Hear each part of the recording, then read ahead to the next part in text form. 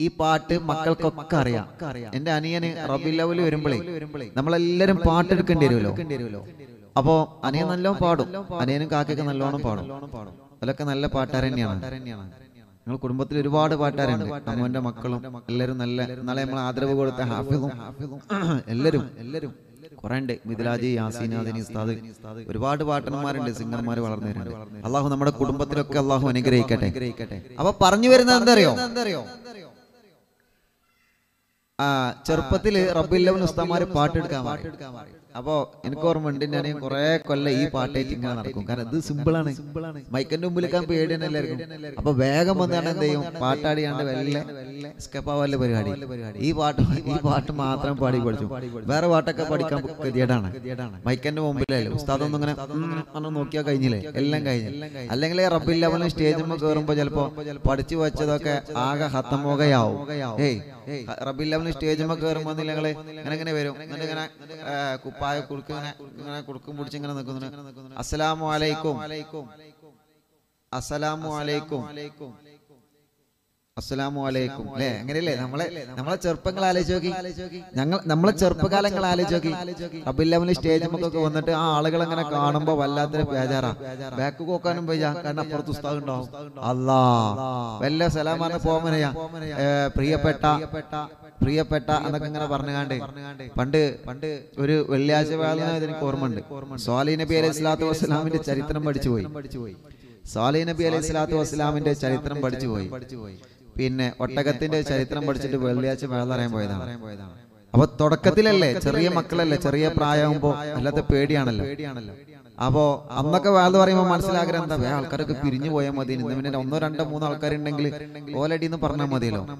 അങ്ങനെ എഴുന്നേറ്റ് എഴുന്നേറ്റ് സലാം പറഞ്ഞ് അന്തും സ്വലാത്തൊക്കെ ചൊല്ലി. ചൊല്ലി. പിന്നെ പിന്നെ സ്വാലിഹ് നബി അലൈഹി സ്വലാത്തു വസ്സലാമിന്റെ പേരും പറഞ്ഞു. ഒട്ടകൊന്നും പറഞ്ഞു കുളന്നു പറഞ്ഞു. പിന്നെ വേറെ ഒന്നും പറയാൻ കിട്ടിയില്ല. കിട്ടിയില്ല. പിന്നെ വേറെ ഒന്നും പറയാൻ കിട്ടില്ല ഇതിന്റെ അനുഭവമാണ്.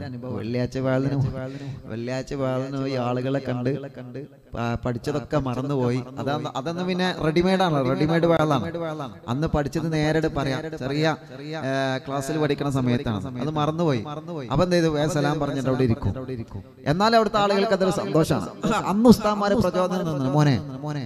എന്നും പോകണം എല്ലാ വെള്ളിയാഴ്ചയും പോകണം അതൊരു സന്തോഷമാണ് അല്ല വെള്ളിയാഴ്ച ഒക്കെ പള്ളിയിൽ പോകുമ്പോൾ വാതിന് മുമ്പ് വാത് തരുന്ന ഉസ്താമാരുണ്ട് പ്രചോദനം തരുന്നവരുണ്ട് അല്ലാ അവർക്കൊക്കെ നീ വലിയ ബറക്കത്ത് കൊടുക്കണേ അല്ല റഹ്മത്ത് കൊടുക്കണേ അല്ല സന്തോഷം കൊടുക്കണേ അല്ല അപ്പൊ നമ്മളെ റബില്ലവൽ മാസത്തിലെ ചെറിയ മക്കളെ സ്റ്റേജമ്മ കയറിയിട്ട് ഇതൊക്കെ ചെറിയ പ്രായത്തിൽ ഇങ്ങനെ പാടും. അതൊരു സന്തോഷമാണ് അതൊക്കെ നമ്മുടെ മക്കൾ പഠിച്ചു വരട്ടെ.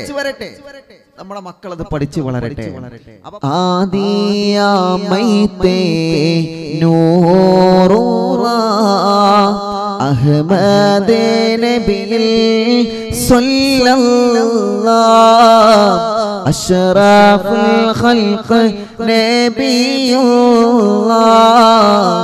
ആദരവായ റസൂലുള്ളാഹ് ആദരവായ പഠിച്ചല്ലോ? ഇതേ മാർക്ക് ഇതും പഠിക്കണം. പഠിക്കണം. അപ്പൊ പറഞ്ഞു വരുന്നത് മുത്തുനബിയുടെ മരണം എന്ന് പറയരുത് മുത്തുനബിയുടെ വഫാത്ത് എന്ന് പറയാം അപ്പം?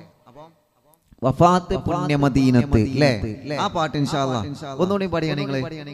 നമ്മുടെ നബിയുടെ മക്കളൊക്കെ പാടി പാടി അറിയില്ല? പാട്ട് അറിയില്ലേ അറിയില്ലേ അറിയില്ലേ ഏ? ആ അന്ന് പാടി നമ്മുടെ നബിയുടെ പേരെന്തേ?